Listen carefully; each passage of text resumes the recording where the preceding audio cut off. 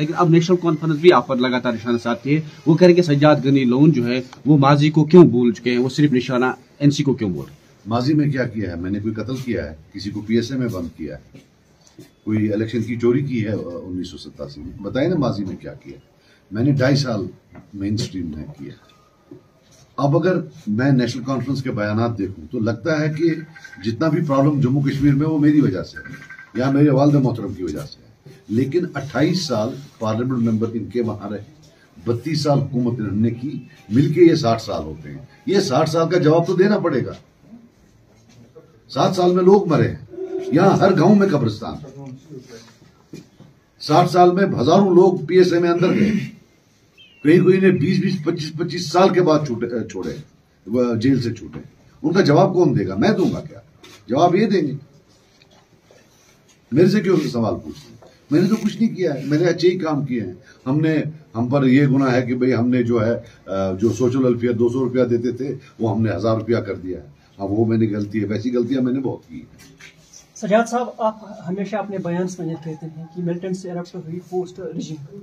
तो recent national conference ने ये ये इल्ज़ाम लगाया है कि जो अलबरक है वो आपके फादर के क्रिएशन है। आपका क्या कमेंट है उस पर देखिए मेरी बात सुनिए। मेरे फादर पॉलिटिकल थे हमेशा। राइट वो इलेक्शन नहीं लड़ते थे। इसीलिए आप देखेंगे कि मतलब इलेक्शन पहले लड़ते थे, बाद में उन्होंने छोड़ दिया। जब 87 की रिगिंग हुई, उनको बंद किया गया, फिर उन्होंने इलेक्शन को खैर बात हो इसीलिए हमारे किसी भी इलेक्टोरल प्रोपगेंडा में आप उनका फ़ोटो नहीं देखेंगे। क्योंकि जब वो इस दुनिया से गए, वो इलेक्शन नहीं लड़ते थे। हम उनकी उस मेमोरी का रेस्पेक्ट करते मैं सजाद लोन हूँ। मैंने पहले दिन से ही मेरी प्रोक्लिविटी जो थी, मेरी tendency towards main stream politics ठीक है ना? गन जो है उन्नीस सौ सतासी में आया रिगिंग के बाद आया, और तकरीबन पचास तंजीमें थी। फ़र्ज़ करे, पहले तो ये झूठ है, वो एक तंजीम लोन साबित बाकी उनचास कहाँ से आए? वो किसने बनाए आप समझे? तो इस वक्त भी मैं आपको बता दूँ, हमारे घर पर अलहमदुल्ला कोई खून का दब्बा किसी का कत्ल नहीं हो सकता। हाँ बचाने में बड़ा काम किया जो मेरे वालदे मोहतरम थे। वो नॉन वायलेंस के टोटल टोटल टोटल जो है, उसके हक में थे। और कभी उन्होंने ये वायलेंस को जो कंडोम नहीं किया। बाकी ये सब diversionary tactics at the end of the day national conference पिछले सत्तर, अस्सी साल, यहाँ की पॉलिटिक्स पर छाई हुई है। उन्होंने इकतदार का सबसे ज़्यादा जो है वो उन्होंने टाइम गुजारा है। बड़े बड़े अकॉर्ड्स उन्होंने साइन किए हैं। जवाबदेही उनकी है। वो हमसे जवाब ना पूछे।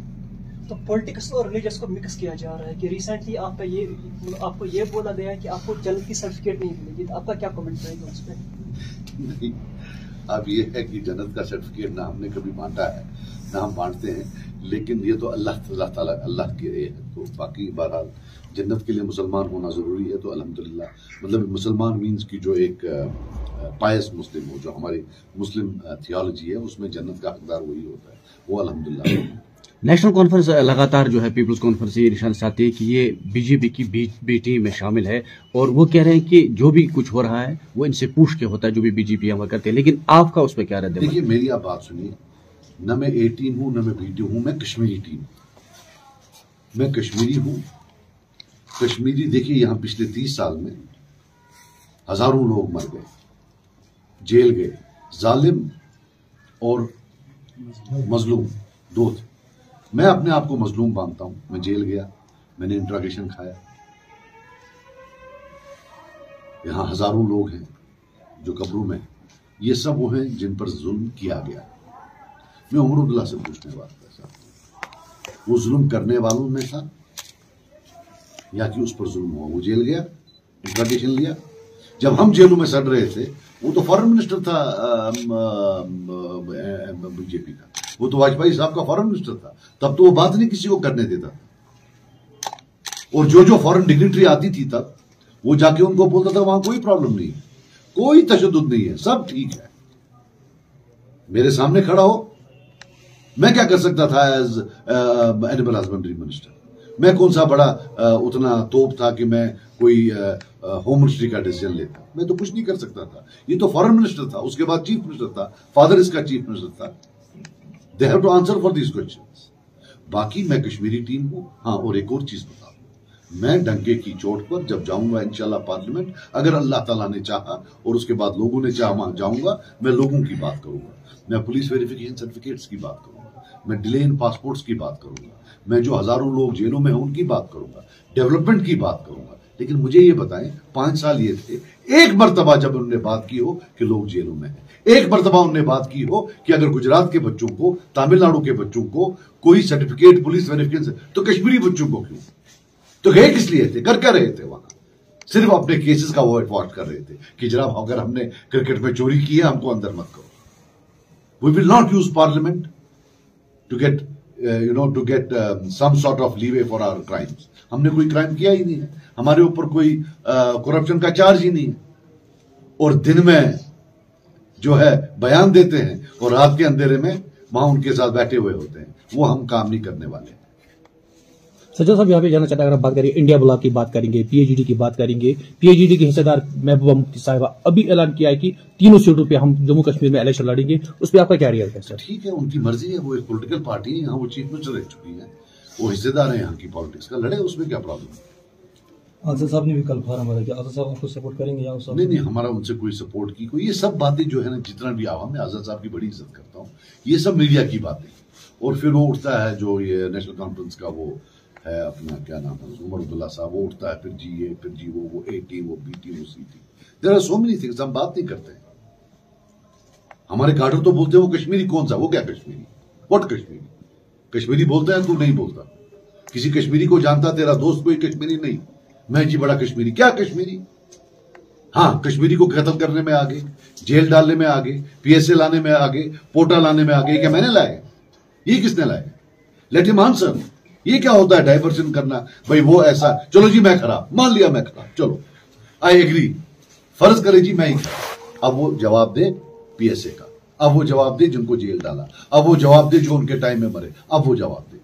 मेरे खराब होने से उमर साहब अच्छे नहीं होते किसी के ए टीम या बी टीम होने से वो अच्छे नहीं होते हैं। वो अपने let him answer for his own deeds अब उनके फादर हैं।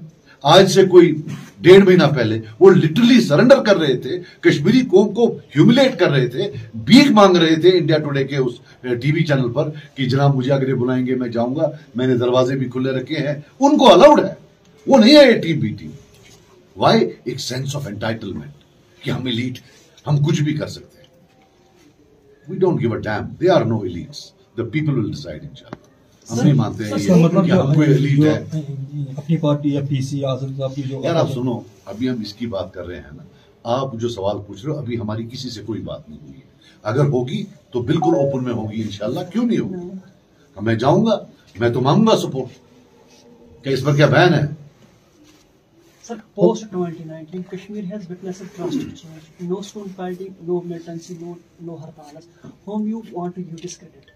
देखो मैं आपको बात बता नो डाउट कुछ लॉ एंड ऑर्डर की चीज़ बट हर एक चीज़ का एक कॉस्ट होता है। इसमें कॉस्ट बेनिफिट एनालिसिस होता है। ये जो आप बोलते हैं कि भाई वो नहीं है, ये नहीं this is this does not sum of the entire picture film अभी बाकी भी यू नो हमने यहाँ रहना है। जो आज हो रहा है, क्या ये लॉन्ग टर्म या शॉर्ट टर्म है? We to look at this क्या कहीं लॉन्ग टर्म में हमें प्रॉब्लम तो नहीं होगी जो आज तक शॉर्ट टर्म में मेजर्स लिए जा रहे हैं to curve it my only thing is कि कश्मीर का जो यूथ है आप उसको जीने दो। उसको तंग मत करो। ये पुलिस वेरिफिकेशन सिस्टम इसको छोड़ दो। अगर वी डोंट हम पहले स्पेशल थे हमारे पास तीन सौ सत्तर था। चलो स्पेशल नहीं तो बराबर तो बनाओ। ऐसा we can not be unequal Indians we are here as equal Indians as equal as a young man from Haryana, as equal as a young man from Tamil Nadu, from Karnataka. We cannot be unequal Indians. That's all we are saying. और वही इनको बोलना था वहाँ। नहीं बोला। 370 लिया तो ये हंस रहे थे। टोकन एक बंदा करता, वो भी नहीं। तो बोलना है ना, लोगों को तो बोलेंगे। मेरी कोई जाति दुश्मनी नहीं है। But they have twenty eight for 28 years 28 साल ये पार्लियामेंट में गए हैं। चलो, हो सकता है मुझे कोई जिद हो। हो सकता है मैं झूठ बोलता हूँ। यही हमें बोले कि 28 साल में उनने कब कब वकालत की है कश्मीरी के लोगों को। बिलखसूस जो पिछले पाँच साल था, बड़ा अहम था। देर वॉज़ नो असेंबली यही तीन इलेक्टेड मेंबर्स थे। बताइए, जो हमारी एस्पिरेशन थी, जो हमारा पेन था, कब कब इन्होंने पार्लियामेंट में वहाँ शोकेस की?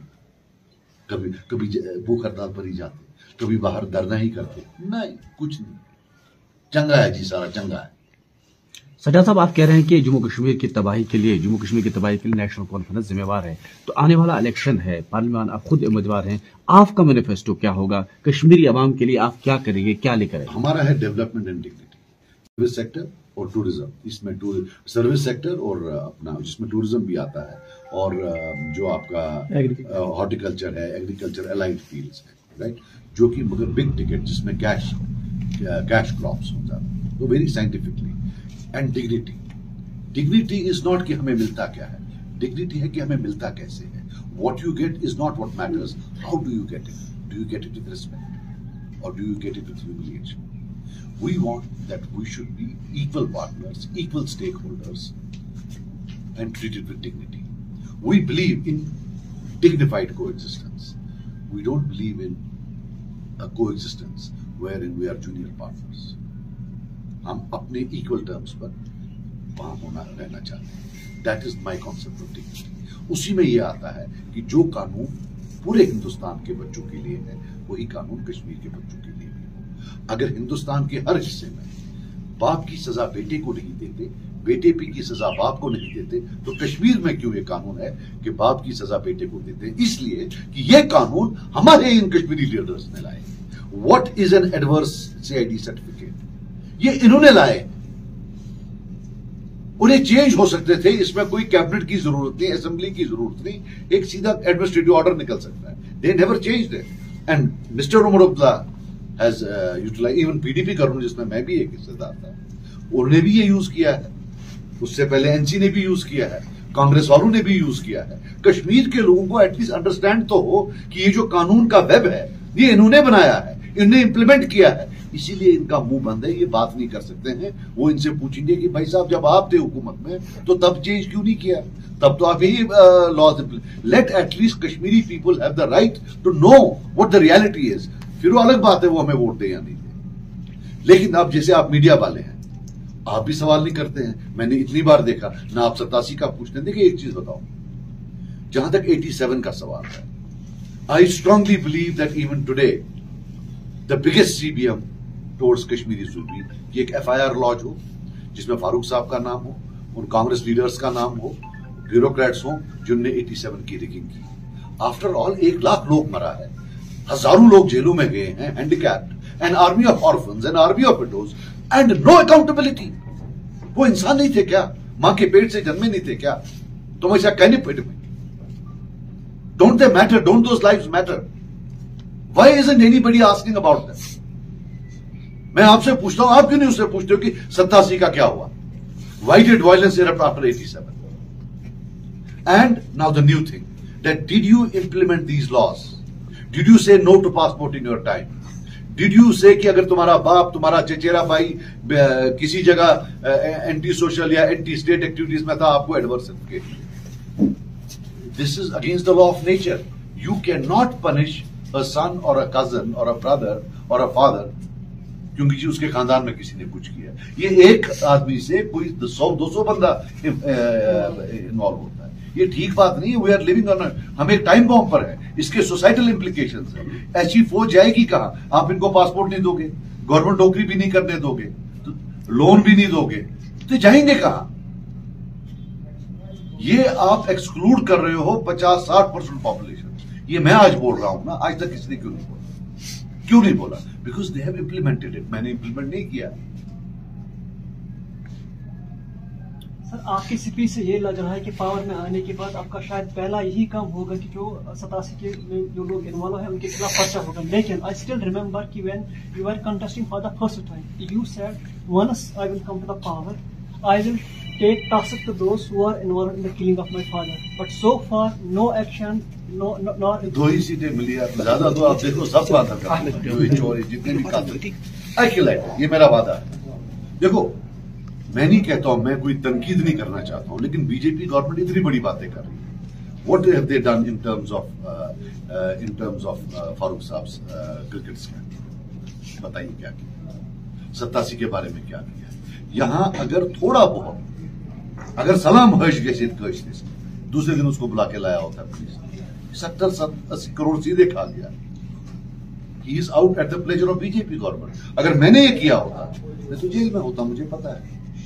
देखिए, ये आहत साहब मेरे साथ साथ आप इसको बताओ, क्या इसके नाखून उठाए गए या नहीं इंट्रागेट में एनसी हुकूमत में। ये एक जीता जागता एग्ज़ाम्पल है।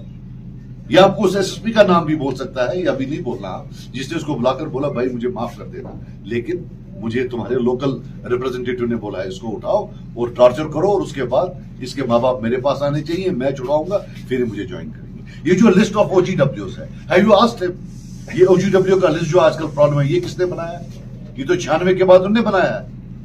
अब ये चलिए, अगर ओजीडब्ल्यू का लिस्ट बनाना है, जो कि इन्वॉल्व था एंटी स्टेट एक्टिविटीज़ में, इनने तो उनका नाम डाला है, ये हमारे आशिक साहब का नाम डाला है। क्यों? क्योंकि ये उनका पोलिटिकल मुखालिफ था। ये हवा से लिस्ट नहीं आए। ये सब लिस्ट इन्होंने बनाए हैं। लेट देम टेल मी कि इन्होंने नहीं बनाए। और लोगों को पता चले बड़ी बड़ी बातें जी ए टीम जी बी टीम अरे भाई साहब, सियासी बांग, तेरा जो तेरा स्टार्ट आरएसएस में हुआ है। आरएसएस वालों ने तेरे को प्रोजेक्ट करके फॉरेन मिनिस्टर बनाया, नौजवान आदमी। मतलब और वो भी किस पार्लियामेंट इलेक्शन में, जहाँ पचानवे परसेंट लोग घर में बैठे हुए थे, खुद तब टप्पे डालते थे। जाकर तू बना, तू you were the poster boy कि साहब कश्मीर में कोई जुल्म नहीं है, कोई मर नहीं रहा ये देखिए फॉरेन मिनिस्टर है। वो बोले था या नहीं था? Let him answer this question was he the poster boy of the BJP government क्या उसका उस गवर्नमेंट में रहना? ये था कि कश्मीर में सब ठीक है, कोई जुल्म नहीं, कोई अरेस्ट नहीं, कोई कुछ नहीं। क्या मैं गलत बोल रहा हूँ? बताए मुझे गलत बोल रहा हूँ। बाकी बातें तो उठेंगी। पीपल इन इंडिया टॉप वाले दस बीस में है। बयान ऐसे देता है, ऐसे और मालूम है इसको बच्चा नहीं है, चीफ मिनिस्टर रह चुका है स्टेट का, कि सिक्योरिटी चैलेंजेस क्या है? इस बयान से वायलेंस हो सकती है, इनके वर्कर को कोई मार सकता है। खुद बेगैरत आदमी, लगभग सौ डेढ़ सौ बंदे इसको गार्ड कर रहे होते हैं राइट और हमारे आहत साहब को इनसिक्योर बनाता है, हमारे आशिफ साहब को इनसिक्योर बनाता है, हमारे गुलाम हसन साहब को इनके पास तो सिक्योरिटी नहीं। हम डरते नहीं है। अल्लाह हमारे साथ है लेकिन मैं सिर्फ़ इनकी नियतों की बात कर सजाद साहब यहाँ पे यहाँ पे जाना चाह रहे हम बात करेंगे। एक साइड से जन्नत की सर्टिफिकेट डिस्ट्रीब्यूट करना। बोल रहे हैं कि हम किसको देंगे? दूसरी साइड से माह मुबारक मुतबरक महीने में कल आपने सोशल मीडिया पे वीडियो देखा होगा कि इस माह मुबारक का महीने में चंगम चबाते हुए नज़र आ रहे हैं। वो भी प्रेस कॉन्फ्रेंस के दौरान किस चीज़ मुझे इसमें मत डालिए प्लीज़ नहीं। देखिए वो उमर साहब और उमर साहब के खुदा के बीच में। उसमें मुझे मत डालिए। लेकिन हाँ ये जो जन्नत का सर्टिफिकेट दे जरा थोड़ा। वो, वो भी कम करे ज़्यादा जन्नत की सर्टिफिकेट ना दे। सर अब सफ़ा रिमूवल की बातें की जा रही है जिस indicator situation has been improve at the same time former देखिए मेरी अब जो अफसफा का बात है राइट अब होम मिनिस्टर ने बोला हमने उठाना है। What should a clever politician do who is a Kashmiri he should encourage him बिल्कुल हम आपको सपोर्ट करेंगे। यहाँ से हमारा लीडर बोलता है ये झूठ बोलते हैं.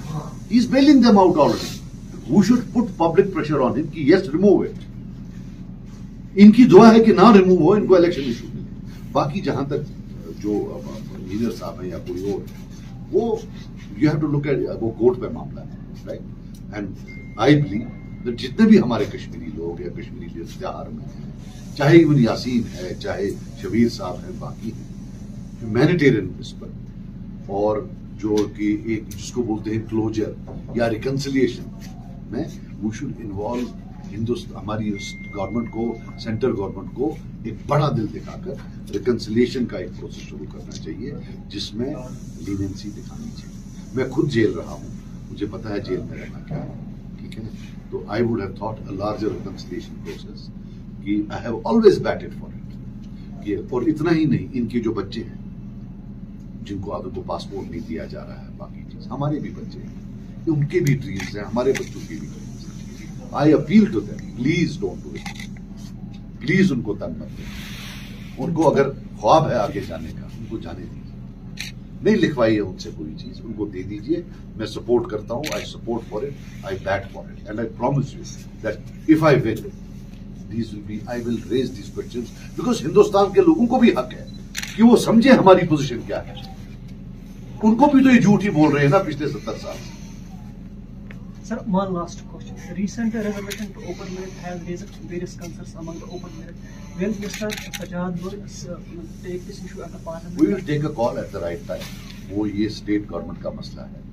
ये इंशाल्लाह अल्लाह ने चाहा अगर इलेक्शन हुआ उसको will take a right call will see इसमें सर, अगर स्टेटहुड रिस्टोर नहीं हुआ क्या जेकेपीसी इलेक्शन में हिस्सा ले लेगी? हम हर हालत में इलेक्शन में हिस्सा लेंगे स्टेट हुड भी आएगा इंशाल्लाह। वो तो हमारी सबसे बड़ी डिमांड है। लेकिन staying away from election is the reason why we are in such a bad state I will never advocate कि इलेक्शन से दूर हो इलेक्शन में ही रहकर जैसा है वैसा है डेमोक्रेसी से ही इसका जो है हल।